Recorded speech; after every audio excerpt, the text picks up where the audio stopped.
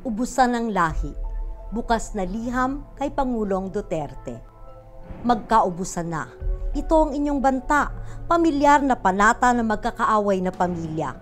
Parang matira ang matibay. O kaya'y ubusan na ng lahi pagkat magkakatunggali. Mahaba ang kasaysayan ng pangako ng paglipol ng lahat ng revolusyonaryo. Suyuri ng bundok, sipsipin ng dagat, bawat isa'y makukubkob, bawat kasapi malalagas. Bansagan silang bandido o aswang at ng katakutan. Tawaging terorista ang subversibo hanggang maging katanggap-tanggap ang pagpaslang at pandarahas. Wag, hindi po sa tapatan ng armas ninyo mawawakasan ang himagsikan. Walang nakibaka lang para sa sarili lamang. May katuwirang pinagtatanggol, may layo na isinusulong.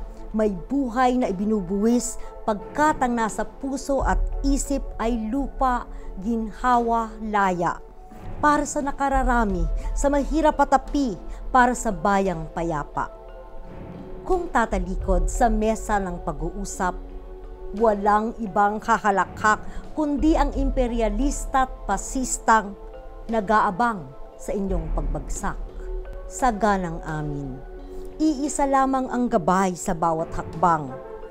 Kung kaya't marahil walang takot sa bantang magkaubusan, sa masa ay maglingkod.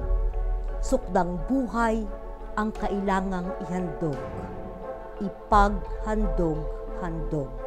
Ito ang panawagan ituloy ang usapang pangkapayapaan.